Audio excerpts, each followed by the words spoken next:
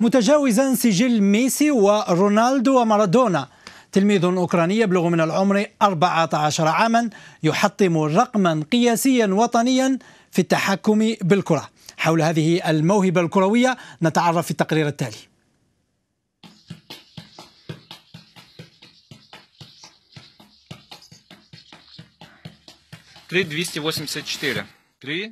تهانينا لك يا ساشا لقد حققت رقما قياسيا أوكرانيا جديدا.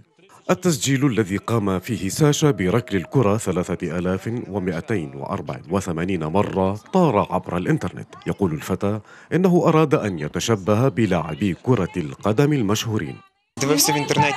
أردت تحطيم أرقام لاعبي كرة القدم الشهيرين القياسية.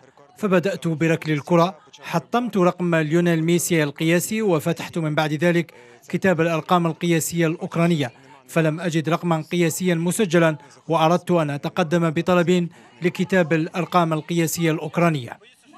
قرر لاعب كرة القدم الشاب أن يتعدى إنجازه الخاص أمام أعين مئات المتفرجين وممثلي كتاب الأرقام القياسية الأوكرانية.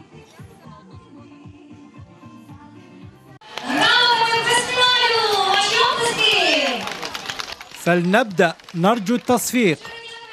رغم الشمس الحارقة كل تركيز ألكسندر منصب على النتيجة. قام بركل الكرة لمدة 36 دقيقة دون توقف فحطم بالنتيجة رقمه القياسي.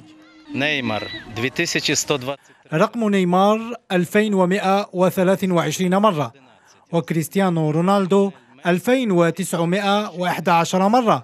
وليونيل ميسي 3168 ورقم ألكسندر أوميلتشوك 4161 مرة Трішки хвилювався, але коли почав набивати, то вже хвилювання пропало. كنت مضطربا بعض الشيء ولكن عندما بدأت بركل الكرة اختفى الاضطراب توقعت أن أركلها أربعة ألاف مرة ولكن الرقم كان أكبر من ذلك بقليل جاءت كل الأسرة لتشجيع صاحب الرقم القياسي ولقد اختبر والد ساشا قدراته أيضا. Просто важко.